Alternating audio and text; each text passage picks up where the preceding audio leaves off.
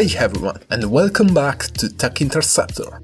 It seems that there are new information about the new Nvidia 4000 series GPU and as always we are here to tell you everything.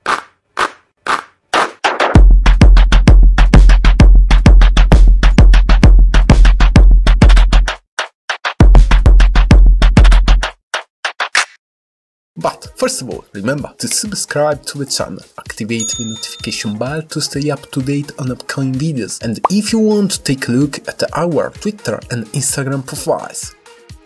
Okay, let's start with a recap of what happened recently. Previously, on December, the authoritative source kopite7kimi that we remind you periodically updates us the latest from Nvidia and that above all, as well as the specification of many Nvidia graphic card releases, such as the RTX 4090, 4080 and also 4070 Ti. Among these, it also has leaks the specification of RTX 4060 Ti.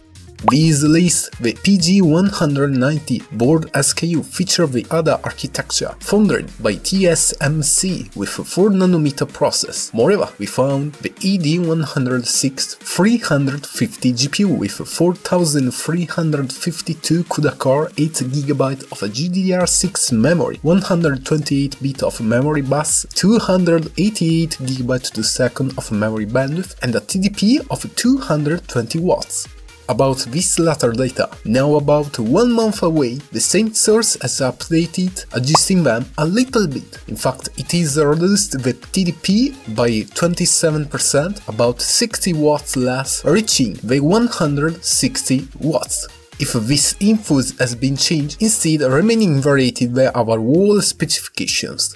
Comparing to the previous generation precisely with the RTX 3060 Ti with GDDR6 memory variant, we can see how the 3060 Ti has a 512 CUDA core less, the same memory quantity, exactly half of memory bus, 35% less of memory bandwidth and a TDP of 40 watts less.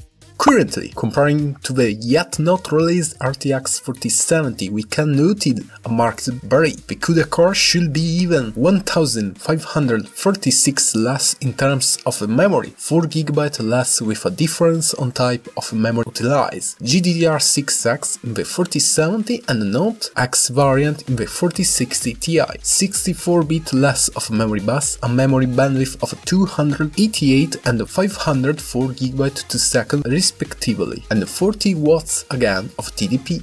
Moreover, if the specification will be confirmed, the RTX 4060 Ti will be the first of the 40 series to the as the, the GDDR6 memory instead of the GDDR6X variant present in our RTX 4000 series SKU. But going to our after saw the price trend of the graphic card 4090, 4080 on the last month and recently with the 4070 Ti, also this new card will have an high price. This, in a certain way, was confirmed always by the usual source kopite7kimi that ensure that with these specifications the RTX 4060 Ti will perform like a RTX 4070.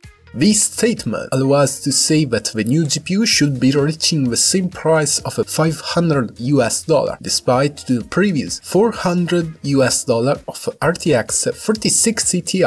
So, if you will want to buy one, be ready to break the piggy bank. And if you are wondering about the release date, well, we'll have to wait a little long. At this point, it's probable that the RTX 4060 Ti arrival will be scheduled for late Q1, otherwise for early Q2 2023. Alright, that's all for today. I hope you're enjoying this video and it was helpful. As always, let me know what do you think in the comments below, but leave a like, share it with all your friends and don't forget to subscribe. Huge thanks for watching, see you again next time.